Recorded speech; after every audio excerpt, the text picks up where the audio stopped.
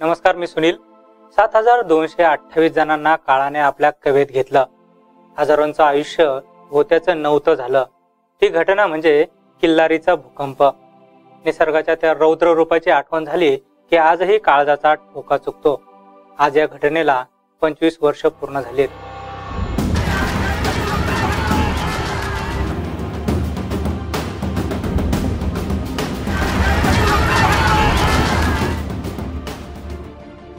तीस सप्टेंबर एकोणीसशे त्र्याण्णव अनंत चतुर्थीचा तो दिवस. गणेश विसर्जन करून परतलेल्या किल्लारी आणि परिसरातील गावं शांतपणे झोपली होती.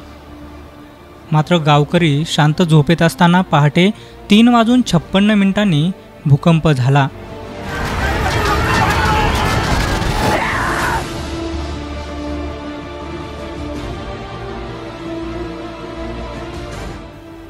काही क्षणात होत्याचं नव्हतं झालं.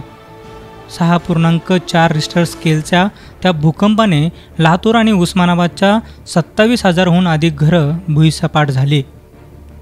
काळाने सुमारे सात हजार दोनशे अठ्ठावीस जणांना आपल्या कवेत घेतलं. तब्बल सोळा हजार नागरिक जखमी झाले. सोळा हजारहून अधिक पशुधनही या भूकंपात गाडलं गेलं. काही सेकंदातच औसा आणि उमरगा तालुक्यात मृत्यूचं भीषण तांडव अनुभवायला मिळालं. काय झालं? कसं झालं? कुणालाच काही कळालं नाही.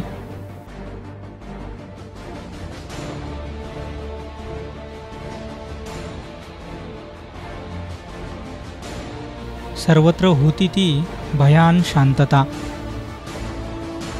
आज या घटनेला पंचवीस वर्ष पूर्ण झाली आहेत.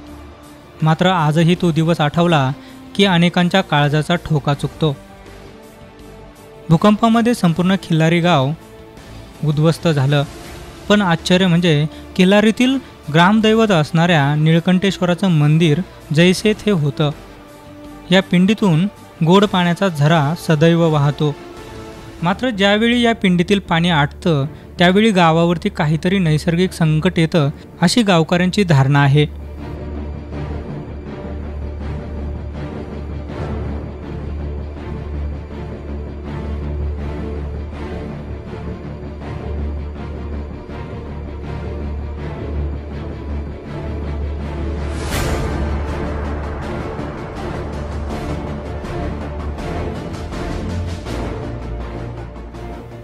शासनाने भूकंपग्रस्त गावाचं पुनर्वसन केलं खरं मात्र इथल्या समस्या पंचवीस वर्षानंतरही कायम आहेत.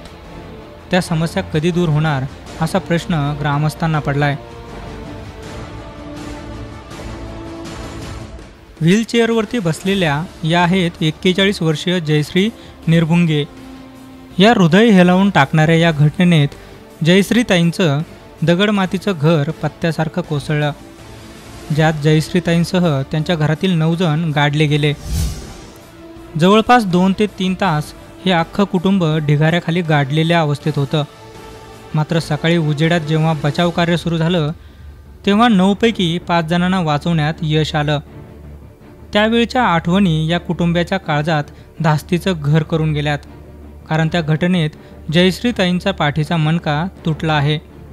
त्यांना कायमचं अपंगत्व आलं आहे पण माझी अवस्था एकदम बिकट झालेली. माझे दोन्ही पाय सुजले पाठीला पाठीचा भाग सुजला हात पाय काहीच हालत नव्हतं. मग नंतर एक्सरे वगैरे काढून मग उपचार सुरू झाल्यानंतर मग सांगितले मनके फ्रॅक्चर झाले तुम्हाला पाठीत रॉड टाकून खूप प्रयत्न केले. सहा सात महिने त्यांनी ठेवून घेतले आम्हाला. मग ते पाय हलत नव्हते. अजूनपर्यंत बी पाय हलतच नाहीत माझे. अपंग अवस्था झाली म्हणून सांगितले. मग तिथून आम्ही परत घर म्हणजे आता डिस्चार्ज दिले पण घर म्हणून यायचं कुठं आता? सगळं गाव पडून हे झालेलं. मग न यायचं कसं जायचं कसं कुठं राहायचं काय करायचं काय खायचं ह्यापर्यंत तयारी होती. मग शासनाने ती तात्पुरता निवारा म्हणून शेड मारून दिले होते. त्याच्यातच एका रूममध्ये येऊन आम्ही मग तिथून आम्हाला येताना सोबत ते बेड वगैरे दिलेली होती ते हॉस्पिटलवाल्यांनीच तसं. घरी काय तुमच्या आता सगळंच गेलेलं होतं. काही वाटी चमचा सुद्धा शिल्लक नव्हता आमचा. फक्त माणसं जे जिवंत होतं ते चार पाच जण आणि गेलेले तर मग त्यांचं त्यांना तिथल्या तिथंच ते दगावलेलेला माती झा म्हणजे तिथंच एक असं सार्वजनिक अग्निदहन केल्यासारखं सगळ्याला एकत्र जाळण्यात आलं. तत्कालीन मुख्यमंत्री नारायण राणे यांनी एकोणीसशे अठ्ठ्याण्णवमध्ये त्यांना झेरॉक्स मशीन मंजूर करून दिलं. पण गेल्या वीस वर्षापासून जागा मिळत नाही आहे जिल्हाधिकाऱ्यांनी आदेश देऊनही ग्रामपंचायत दखल घेत नसल्याचे ते सांगतात. म्हणल्यावर झेरॉक्स मशीनची मागणी त्यांनी मान्य करून मग मला झेरॉक्स मशीनसाठी त्यांनी निधी पाठवून दिला. सध्या मशीन चालू आहे माझी. आणि आता व्यवसाय करून खाण्यासाठी त्याला आता जागेची गरज आहे मला सध्या. माझ्या नावचं असं काही जागा घर काही असं मिळालेलंच नाही.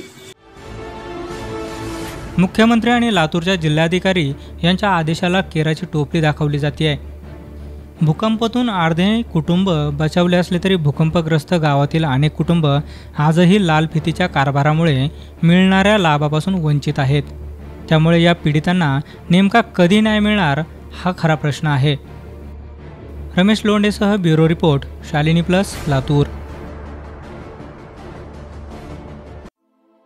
Latur Osmanabad सह अवघ्या महाराष्ट्रालाच नाही तर संपूर्ण देशाला हादरून सोडणाऱ्या या घटनेतून लोक जरी सावरले असले तरी आजही येथील लोक भूकंपाच्या सावटाखाली जगतात त्या घटनेने उद्ध्वस्त झालेली घरं गावं लक्षात आणली तरी मनुष्य हा निसर्गापुढे नगण्य आहे असंच म्हणावं लागेल.